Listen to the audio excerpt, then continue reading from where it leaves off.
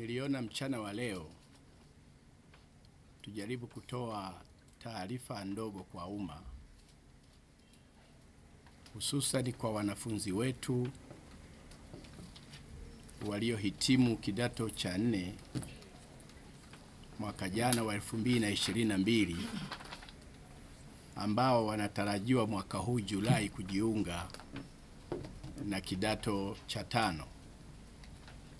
Mtakumbuka wanahabari, tarehe 19 Januari mwaka huu wa 2023 Baraza la Mitihani la Tanzania lilitangaza matokeo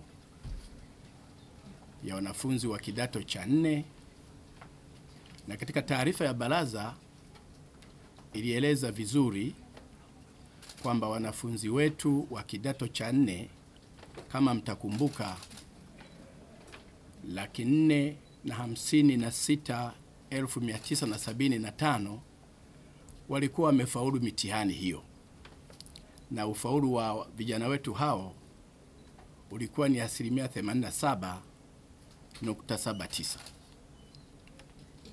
Katika taarifa hiyo ya matokeo vile vile baraza lilifanya uchambuzi na kubainisha kwamba wanafunzi waliokuwa wamefaulu kwa madaraja ya juu kwa maana ya daraja la kwanza, la pili na la tatu walikuwa laki moja na tisini na mbili na mia tatu na arobaini na nane ambao walikuwa sawa na asilimia thelathini na sita nukta tisa tano.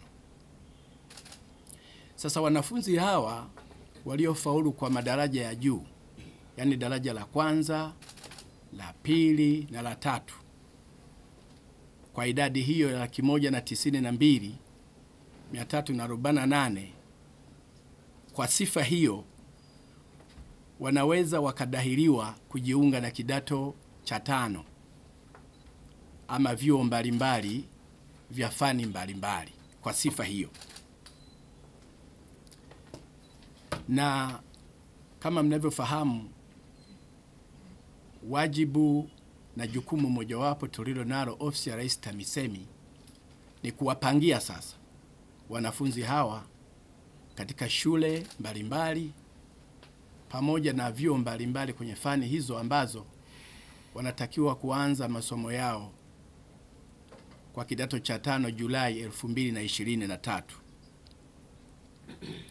na ofisi ya Rais TAMISEMI inapofanya jukumu la uchaguzi wa wanafunzi kujiunga na kidato cha tano ama vyuo vya kati katika fani mbalimbali, huwa inafanya hivyo kutumia mfumo wa kompyuta, mfumo ambao uliandaliwa kwa ajili ya uchaguzi wa wanafunzi hao.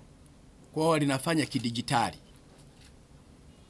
lakini ili mfumo ule uweze kufanya kazi vizuri ya, ya zoezi hili la uchaguzi wa wanafunzi hao ni lazima wanafunzi wenyewe wawe wameshajaza machaguo yao.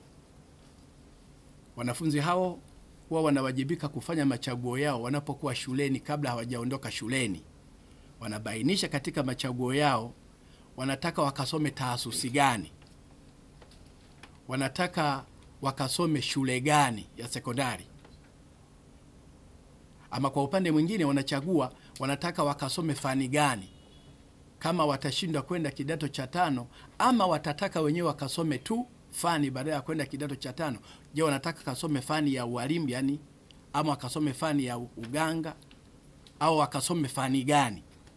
Wanafunzi hawa wetu wakiwa kidato cha nne kule shuleni huwa wanajaza machaguo yao, na machaguo yao hayo huwa wanajaza kwenye fomu ya machaguo inayoitwa self form.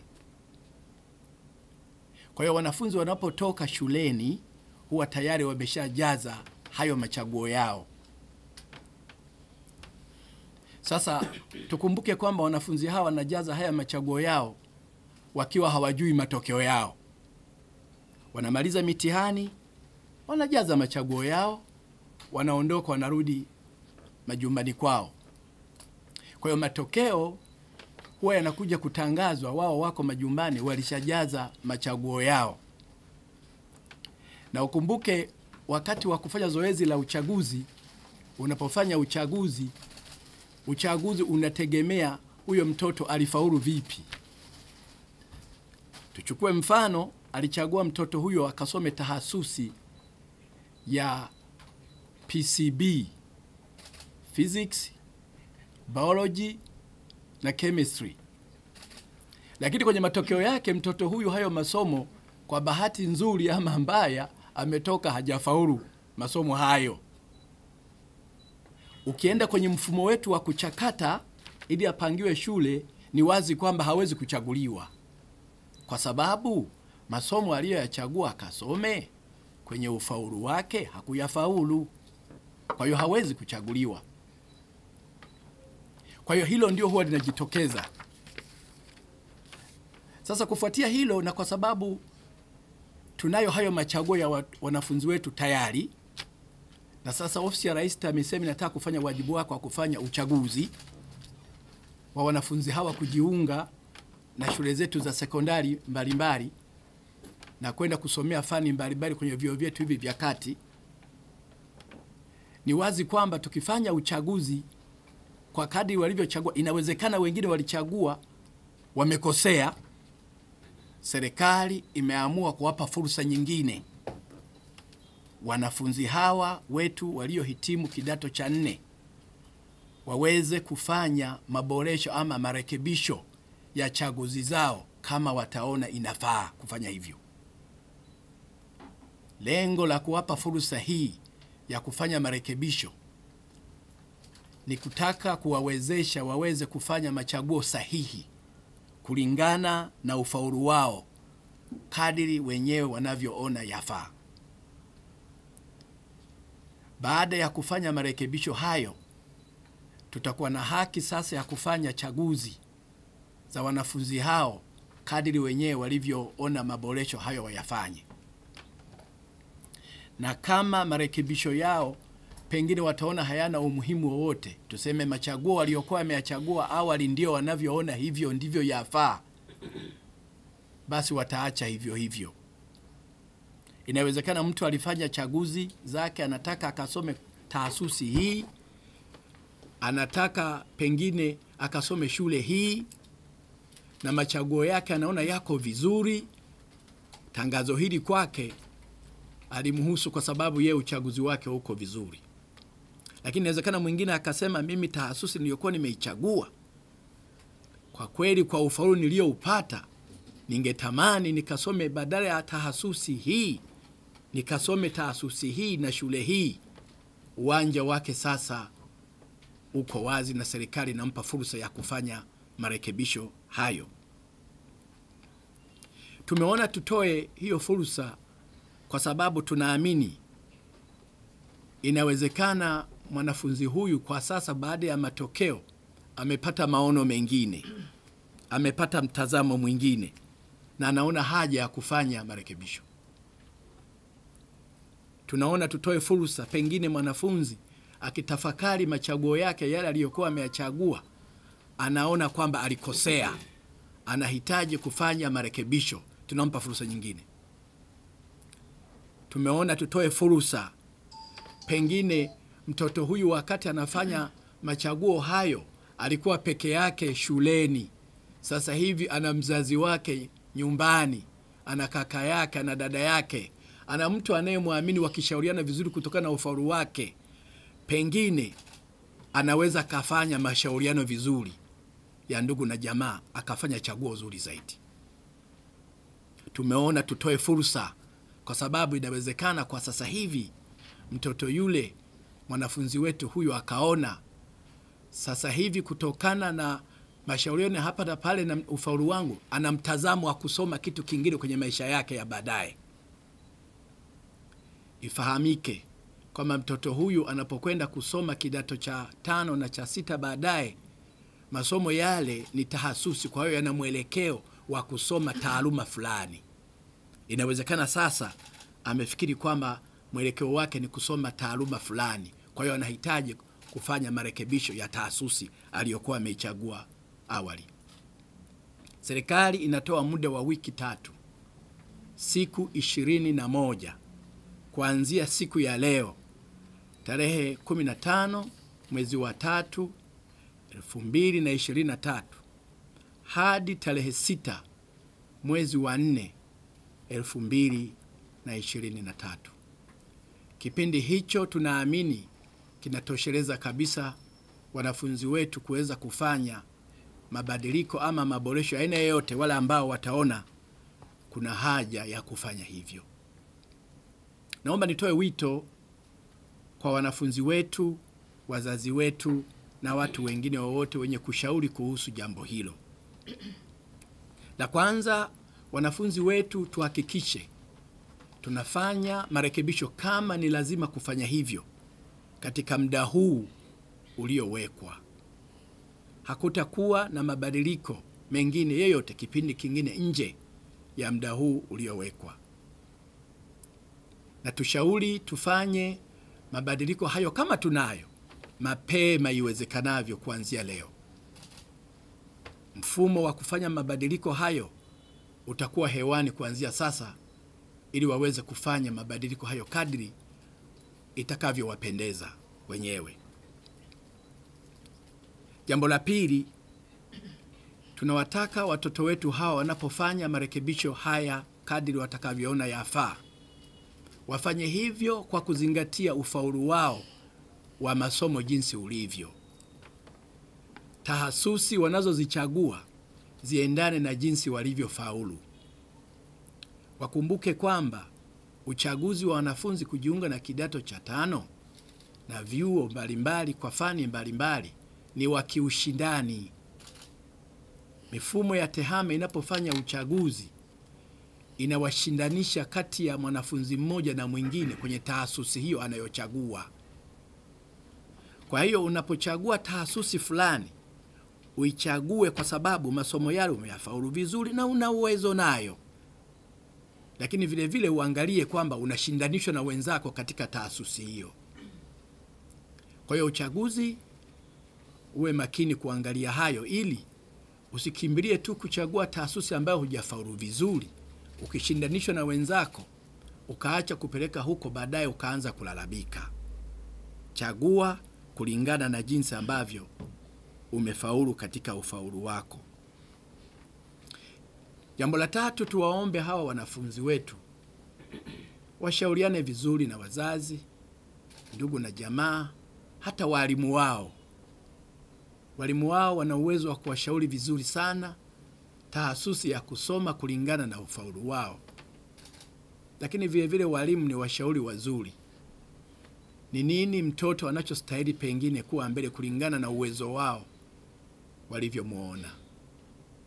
Kipindi hiki ni wanaweza wakapata ushauri wa hapa na pale na wakafanya machaguzi yaliyo sahihi zaidi.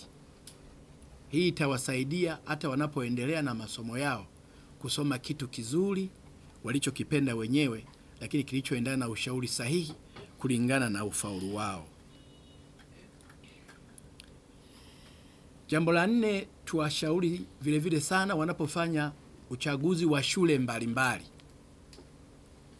Shule zetu za kidato cha sita ni nyingi. Serikali yetu ilishaboresha shule zetu za sekondari mbalimbali nchini. Tunazo zaidi ya mia tano ambazo zote zinapokea wanafunzi kwenye masomo ya kujiunga na kidato cha tano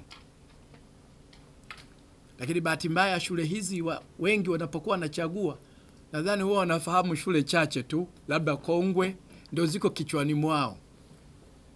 Kamwambia mtu atakuwa najua kuna Iriboru, kuna Kibaha, kuna Welu, kuna Nsumba, lakini kuna Kashishi, kuna Kaliua, kuna shule zipo nyingi kwenye tovuti.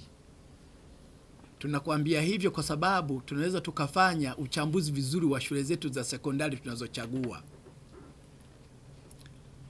Mkichagua wote watahiniwa wote hawa tunaosema zaidi ya laki moja na tisini na mbili kwa mfano, wote tukasema tunachagua Kibaha, tafsiri yake ni nini? Kiuchaguzi na kimifumo? Wote kweli mtashindanishwa na Kibaha, lakini kwa sababu mko wote na Kibaha inachukua wanafunzi pengine themanini tu, basi wote mtaachwa, watachukuliwa themanini waliofaulu vizuri zaidi yenu, maana wote mtapangwa kwa ufaulu jinsi mlivyoomba mtapangwa kwa ufaulu kuanzia wa kwanza mpaka wa mwisho, ninyi mlioomba hapo kibaa. Halafu watachukuliwa wale 80 wanaotakiwa, na wengine wote mtakuwa mmekosa. Ndio maana tunasema tunapochagua shule, tuna shule nyingi za serikali za kidato cha tano na cha sita, na zote ni nzuri, zina walimu wazuri, na walimu wako kule kwa ajili ya kuwawezesha vizuri watoto kusoma. Ndio maana ukiangalia hata matokeo ya mitihani yetu ya kidato cha sita, nenda kayaangalie matokeo ya mitihani yetu ya kidato cha sita. Shule zote shule zote za serikali hizi zilizosema zaidi ya mia tano zinafaulisha vizuri. Kwa hiyo tusiwe na mawazo kwamba shule ni hiyo unayojua tu Weruweru, shule ni ile unayojua tu Nsumba. Hapana, shule zetu katika mikoa yote Tanzania zipo na ni nzuri kabisa. Kwa hiyo tunapofanya uchaguzi, tufanye uchaguzi kwa kuzingatia shule zetu tulizo nazo katika taasisi mbalimbali, sio tukajikuta una unagombania una, una shule moja mnakosa shule ile, na mfumo wa tehama ulivyo ule wa uchaguzi, mkikaa kwenye shule tu hizo chache, basi mtakapokosa nafasi hiyo, na kwa sababu umefaulu, unaweza ukapelekwa shule nyingine yoyote, sio kusema mimi sikuchagua hiyo shule ndio yenye nafasi. Fanya uchaguzi mzuri sasa kwa kuangalia shule mbalimbali hizi zaidi ya mia tano, uchague shule ambayo itakuwa inafaa zaidi. Unapofanya mabadiliko utatakiwa kufanya mabadiliko wa marekebisho kwenye mfumo wa, wa uchaguzi. Mfumo wa unaenda hata ukienda kugugu popote palipoandikwa student, eh, student selection miss, ama ukienda kwenye tovuti ukienda kwenye tovuti imeandikwa selform.tamisemi.go.tz. Ukienda hapo, mwanafunzi akifungua, ukiingiza namba yako ya mtihani ya kidato cha nne uliofanyia mtihani, mfumo utakufungulia na utakuongoza namna ya kujaza marekebisho, kama una marekebisho yako yote unayotakiwa kuyafanya ndani ya mfumo huu. Ukiingia utakuta hata kuna kijitabu cha kukuongoza namna ya hatua mbalimbali za kufanya marekebisho kama unataka kufanya marekebisho, lakini vilevile kuna ka clip, kuna ka video kadogo kana kuonyesha hatua moja baada ya nyingine unapotaka kufanya marekebisho ya aina yeyote. Tuwaombe sana wanafunzi wetu kwa mara nyingine wafanye marekebisho kadiri watakavyoona yafaa kwa kuzingatia ufaulu wao, matakwa yao, shule mbalimbali mbali za serikali hapa nchini na fani mbalimbali wanazopenda kusoma katika vyuo mbalimbali kadiri watakavyopendezwa wao wenyewe kulingana na ufaulu wao. Ninawashukuru sana ndugu wanahabari kwa kutusikiliza, kupeleka ujumbe huu kwa umma na kwa kazi nzuri sana mnayoifanya katika taifa lenu. Nawashukuru sana.